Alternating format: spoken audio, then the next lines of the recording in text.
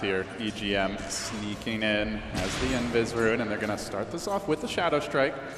There are two charges up on the Spirit Siphon, though, so they're going to need to burst him. If he gets one off, they might have to disengage, but they get the lift. Then the drop comes through, and he's a bit late there on the Faerie Fire. He is Spirit Siphoning, though, gets EGM. He ends up getting the first blood. Jules to the rescue. Potato Tornado. It looks like it's going to be a 2 for nil.